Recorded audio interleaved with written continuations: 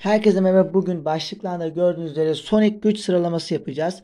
Bildiğiniz üzere e, Sonic e, çıkacak 2022 filmler arası yer alıyor ve çıkmadan önce ben size güç sıralaması yapmak istedim. O zaman hedef videoya geçelim.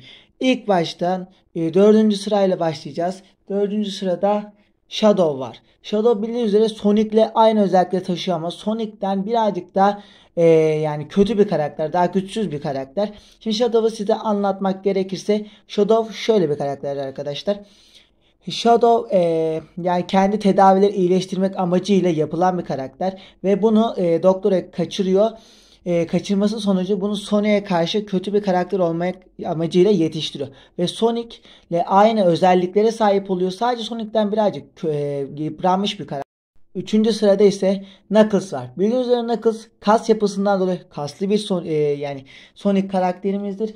Knuckles'ın kas, kası ve e, elindeki sıkma gücü onu çok güçlendiriyor ama bu Sonic arkasına atıyor onu. Zaten filmin fragmanında gördüğümüz üzere Sonic 2'nin fragmanında gördüğümüz üzere eliyle onu ezerek onu yere deviriyor ama bu güçleri kazanmasının sayesi tabii ki de Doktor X sayesinde Doktor X ona yaptığı tedaviler sonucunda daha da güçlü oluyor ama bu güçleri kaybedeceğini biliyoruz. Neden? Çünkü Sonic ondan daha güçlü olduğu için Sonic'in Sonic'in e, hareketli onu yıpratacak ve Sonic'in bayağı bir arkasına düşürmeye e, İkinci sırada ise tabii ki de Sonic X var. Aslında bunu birinci sıraya alabilirdik. Ama Sonic X'e Sonic e, evreninde bilinen bir karakter olmadığı için yani şöyle bir karakter genellikle oyunlarda kullanılan ve e, Sonic'in e, böyle hayal gücümüzü geliştiren bir karakteri.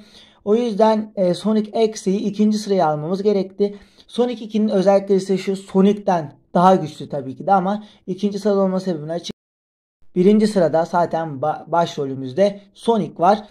Bildiğiniz üzere Sonic ya Sonic evrenindeki bütün karakterlerden güçlü değildir.